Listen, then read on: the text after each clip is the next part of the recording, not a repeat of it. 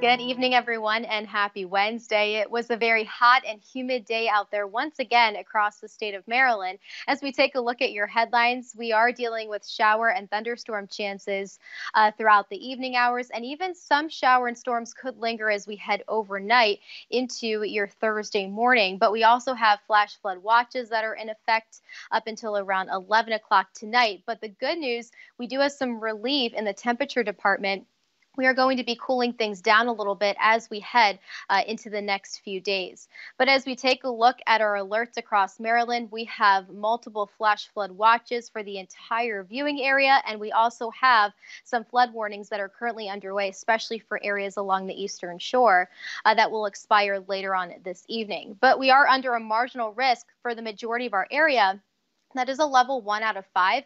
Any shower or storm that we see today will be very sparse and very isolated in nature. The biggest threats that we can expect will be strong wind gusts within some of the stronger storms, and of course, some locally heavy rainfall, which could lead to some localized flash flooding, which I know a lot of areas along the eastern shore, even around Cecil County, are already dealing with. Uh, as we head into around 9 to 10 o'clock tonight, that chance for showers and storms will start to wind down.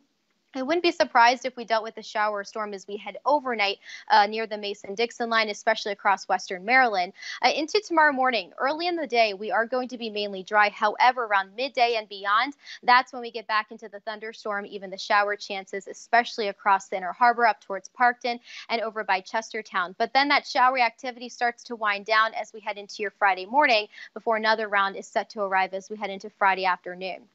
Here's a quick peek at future rainfall amounts. This is taking you through 5 o'clock in the evening tomorrow. Uh, anywhere from an inch upwards of two, maybe localized amounts of three inches are possible up towards Parkton near the Mason-Dixon line, out towards Thurmont.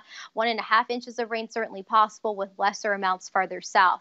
Uh, so if you are heading out and about, if you have any evening plans, you want to make sure you're bringing the rain gear, but also drive carefully. You never want to drive in flooded roadways. We all know that saying, turn around, don't drown, but we are going to be dealing with shower and thunderstorm chances, especially around midday tomorrow. Daytime highs tomorrow afternoon uh, only make it up into the upper 70s and the lower 80s. So we are going to be uh, slightly below normal for this time of year for a few spots, especially for areas across western Maryland. Into the next couple of days, we are going to decrease our, decrease our dew point values uh, into the upper 60s and the lower 70s. So overall, it's going to be feeling more comfortable as we head into the upcoming weekend. We are looking mainly dry for your Saturday uh, with highs around 83 degrees, 83 degrees for Sunday as well. But shower and thunderstorms will be mainly focused farther south of the Baltimore metro.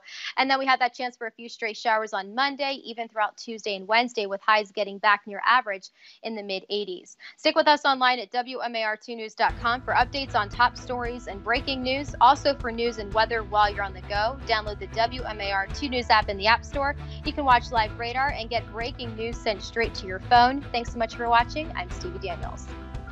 This WMAR 2 News update is sponsored by Jones Junction.